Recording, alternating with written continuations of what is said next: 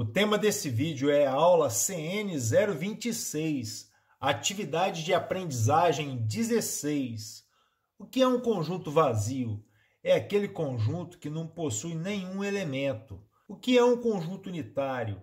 É um conjunto que possui um único elemento. Analise cada uma das afirmativas abaixo e classifique os conjuntos em vazios ou unitários. A metodologia que nós vamos utilizar aqui vai ser a leitura da letra A, resolução da letra A, depois da B e assim até chegar à última letra. A letra A. O conjunto A, x pertence ao conjunto dos números naturais, tal que o x ao cubo é igual a menos 27. Vamos esquecer a qual conjunto que ele pertence. Vamos resolver e depois a gente define se ele é vazio ou unitário. Então, nós temos que x ao cubo é igual a menos 27. Portanto, x é igual a raiz cúbica de menos 27. Fatorando 27, vamos deixar ele sem sinal, por 3 dá 9, por 3 dá 3, por 3 dá 1. Ou seja, o 27 é 3 elevado a 3. Então, nós temos que x igual a raiz cúbica de menos 3 elevado a 3. Então, x é igual a menos 3, porque 3 dividido por 3 dá exatamente 1. Mas a pergunta que temos que fazer é: menos 3 pertence ao conjunto dos números naturais?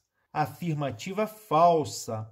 Logo, o conjunto A não possui nenhum elemento, ou seja, o conjunto A é um conjunto vazio.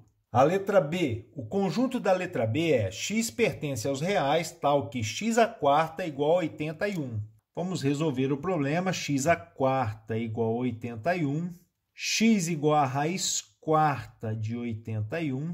Fatorando 81. 81 dá por 3, que dá 27, que por 3 dá 9, que por 3 dá 3, que por 3 dá 1. O 81 é 3 elevado a 4. Então, x igual a raiz quarta de 3 elevado a 4.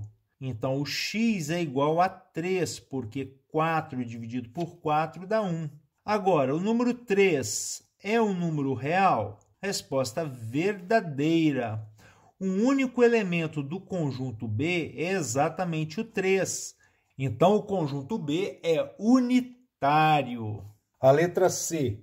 O conjunto C é x pertence aos números inteiros, tal que menos 3 quartos é menor ou igual a x, que é menor ou igual a 1 quarto positivo.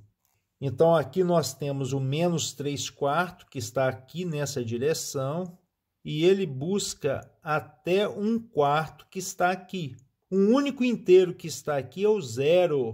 Então, o conjunto C tem o elemento zero.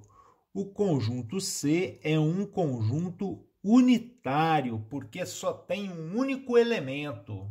Aqui na letra C é importante você perceber o seguinte, está menos 3 quartos aqui. O menos 1 é menos 4 dividido por 4.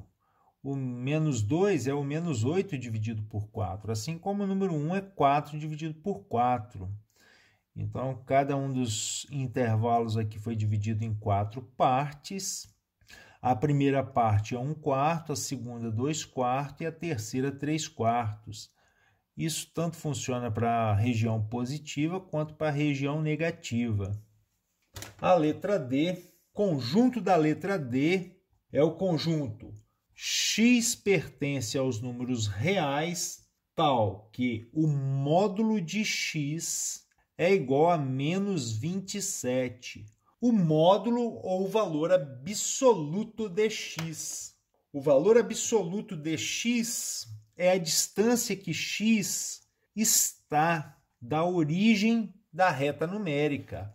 Ou seja, o módulo de x é igual a menos 27 não existe um x que pertence ao conjunto dos números reais, pois nós sabemos que para todo x que pertence aos números reais, o módulo de x tem como resultado um número maior ou igual a zero. Então a resposta para essa afirmativa é conjunto vazio, ou seja, o conjunto D não possui nenhum elemento. A letra E, x pertence ao conjunto dos números racionais, tal que x elevado a 7 é igual a zero. X elevado a 7 é igual a zero, então nós temos que o x é igual a raiz sétima de zero, portanto, x é igual a zero. Zero é um número racional, logo o conjunto E possui o elemento zero, então ele é um conjunto unitário. A letra F x pertence aos racionais, tal que x ao cubo é igual a 1 sobre 27. X ao cubo é igual a 1 sobre 27. O x é igual a raiz cúbica de 1 sobre 27. Logo, x é igual a raiz cúbica de 1 terço elevado a 3. Portanto, x é igual a 1 terço. Um terço pertence aos números racionais? Sim, pertence, é verdade.